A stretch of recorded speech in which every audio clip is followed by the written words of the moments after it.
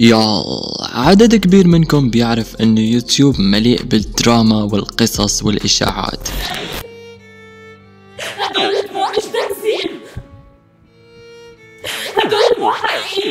ومن أكثرها إشاعات علاقات حب اليوتيوبرز. فخلونا اليوم نشوف أبرز هالإشاعات ونقيمها إذا كانت حقيقة أو إشاعة.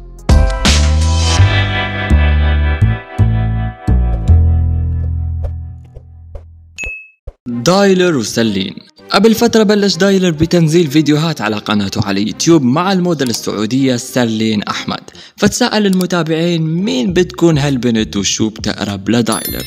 ليفاجئهم دايلر ب story على إنستغرام علق من خلاله الله يتمم لنا على خير وفي كتير ناس صدقوا الخبر وباركوله. وأنا كنت واحد من بينهم ونزلت post على إنستغرام. وكمان رغدة واللي باركت له من خلال مسجات على الواتساب. ولكن دايلر صرح أنه كان مجرد مقلب لا غير ولكن ما نفى أنه في علاقة بينهم فشو رأيكم أنتو؟ علاقتهم حقيقة أو إشاعة؟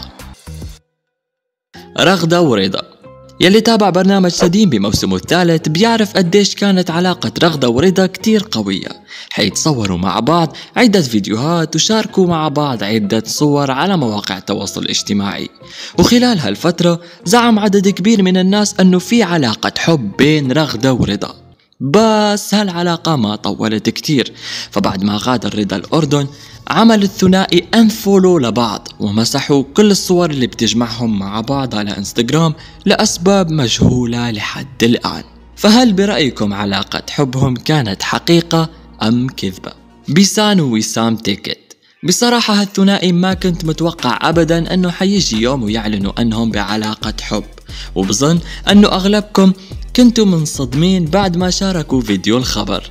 بس بعد مرور أيام اتأكدنا أنه علاقتهم حقيقية. ماريانا وطبنجة. بظن أنه هالثنائي بينسأل عن حقيقة علاقتهم أكثر من أسئلة ماما إذا تأخرت برا البيت بالليل. فرغم أنهم جاوبوا مئات المرات أنهم مش بعلاقة حب إلا أنه الجمهور مصر لحد الآن. فشو رأيكم أنتو؟ هل علاقتهم حقيقة أم إشاعة؟ غيث مروان وديانا. قبل فترة طويلة كان غيث مروان يشارك فيديوهات مع بنت اسمها ديانا حيث كان يعتبرها متابعينه حبيبته. ولكن حصل واختفت ديانا من على الأنظار لمدة طويلة ولكن رجعت تصور مع غيث مؤخرا. فمع عودتها للتصوير مع غيث اعتبرها عدد من الجمهور عودة لعلاقة حبهم السابقة. ولكن غيث أنكر ذلك بفيديو على يوتيوب وأكد أنه بتجمعهم علاقة صداقة فقط. فشو رأيكم أنتو؟ حقيقة أم إشاعة؟ بيسان وجواني أم بصراحة هذا أكتر كابل تحول من حب لجحيم من بعد المشاكل والدراما اللي صارت بينهم على ال social media. فلولا كل هالدراما ما كنا عرفنا حقيقة علاقة حبهم وما كنا أكدناها. فعلاقتهم كانت حقيقة بس انتهت بعد الخلاف. بيسان وأنس. بالحديث عن بيسان إسماعيل فبيسان تعرفت على أنس الشايب بعد خلافها مع جواني وكبرت علاقتهم لما زارت بيسان الأردن قبل أشهر وزيارتهم مع بعض لدبي. فبلشوا مؤخرا يلمحوا لمفاجأة وعلى الأغلب حتكون خطوبتهم.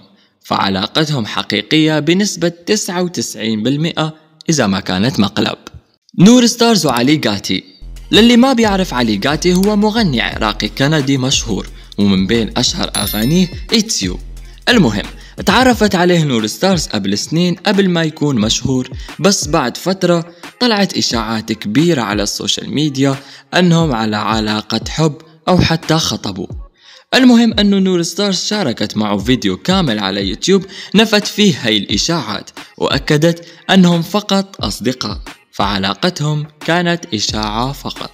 مو فلوجز ونارين بيوتي أحم.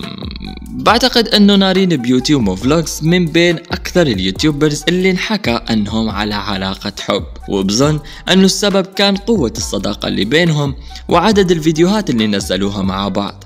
وبالرغم من أنه نارين أكدت كذا مرة أنهم مجرد أصدقاء فقط ولكن الجمهور عم بيقول لا لا لا مستحيل.